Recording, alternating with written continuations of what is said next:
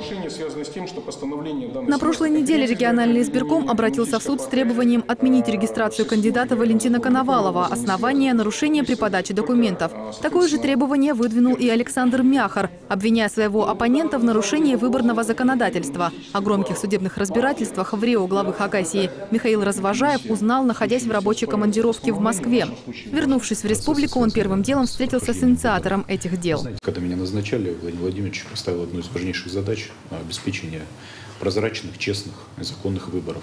Вместе с тем я внимательно ознакомился вчера и сегодня с материалами, соответственно, исков и понимаю, что здесь э, сделано все э, правильно, но тем не менее сами э, причины, они носят формальный юридический характер. И мне кажется, что в настоящее время необходимо сделать так, чтобы все-таки процесс политический в Республике Хакасия закончился волеизъявлением граждан, а не в суде.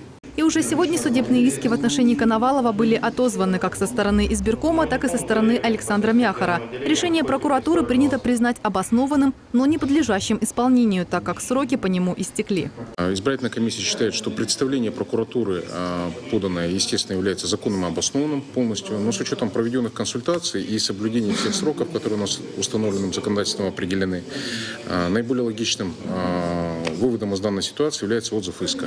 Напомним, что Валентин Коновалов при регистрации своей кандидатуры допустил ряд серьезных технических ошибок, банальные опечатки. Наблюдатели отметили непрофессионализм его самого и его помощников в сфере юриспруденции. По мнению руководителя региона, решения избирательной комиссии и прокуратуры юридически безупречны, но на основании технических процедурных ошибок лишать возможности избирателей самим высказаться в отношении того или иного кандидата недопустимо.